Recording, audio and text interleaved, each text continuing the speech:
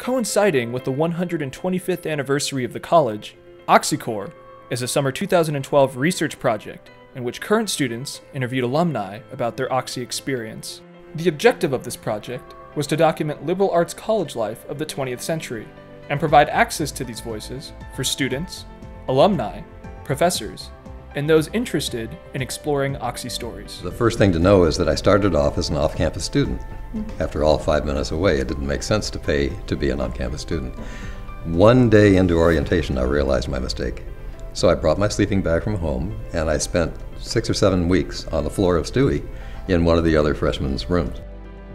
During the OxyCorps pilot project, 58 alumni interviews were collected, capturing over 70 years of Oxy history, from 1938 to 2007.